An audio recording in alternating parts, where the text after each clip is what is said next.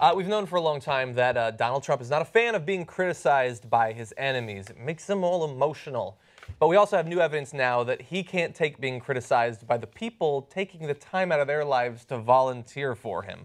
So here are some uh, excerpts from the, uh, the contract that he makes his volunteers sign, which previously, earlier this year, was simply for people who actually work at his headquarters and things like that of the few that he actually has. Now it involves online volunteers as well. So if you simply sign on online to do phone banking for him, here are some of the things that's required of you. So no disparagement. During the term of your service and at all times thereafter, which literally means until the stars die and the light of the universe goes away. You hereby promise and agree not to demean or disparage publicly everybody remotely related to Donald Trump or any asset of the, the foregoing own or product or service.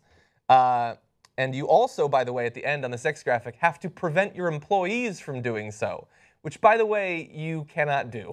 You can't stop your employees from harassing or, or, Or disparaging talking. him.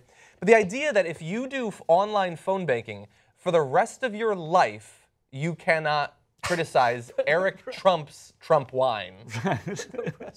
And there, and there's no campaign. This, there, this has no precedent, no equal, Yeah. nowhere. I mean, I've, I've, have you, vol- you must have I volunteered volunteer in for, congressional campaigns. Yeah, I know, but every campaign. I've done Ed Koch, Paul Wellstone, Mike Dukakis, Jimmy Carter. Mike Oh, yeah, Dukakis, Paul I actually, Wellstone? uh, Mike Dukakis, I actually was paid for. It was a job, but never did you have to sign a pledge that a lifetime or even temporary or Yeah. anything like that. Yeah. It's, it's unreal the way this is. There's another interesting, uh, so in the definitions section, they have uh, confidential information. And look at the way that Donald Trump defines confidential information. Means all information, whether or not embodied in any media of a private, pro- proprietary, or confident, uh, confidential nature, which sort of makes sense, or that Mr. Trump insists remains private or confidential. Uh, now, jump ahead to the next graphic, and you're going to see an idea of how much that encompasses. Assets, investments, revenue, expenses, taxes, by the way, whether there's any actual media. If you find out anything about his taxes, he considers that confidential, so it becomes confidential. Uh, financial statements, almost all of this, by the way, is protecting disparagement against his business dealings. Just like when he was on the Comedy Central roast, he's okay with most sort of criticism, Except- but you don't attack his business or his wealth. He can't take that. Uh, it also, by the way, then goes on to personal life, political affairs. It doesn't say personal affairs, but if you bring up graphic 7b, I assume he probably includes that too, uh, and business affairs, blah, blah, blah, blah, blah. Um, now, what's interesting is that these are online volunteers. I'm not even sure, I don't know anything about non disclosure agreements. I'm not a lawyer. But I don't think in general that for unpaid work, you can make people sign the most broad NDAs that Yeah. stretch until they expire.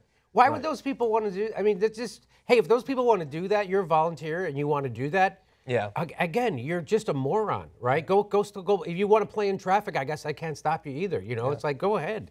But the, the, I mean, these are loyalty pledges, basically. Right? Yeah, is a I mean, loyalty This pledge. is very right wingy. Yes, it's very right wing, and this is very what people say the most right wingy things that people say about Trump is that he wants to be a dictator, he wants to be a Führer, and Have control, basically over thought crimes. in That's who, cases. yeah, that's who signed gets people to Yeah. sign loyalty pledges. Loser Donald. Yeah. Yeah.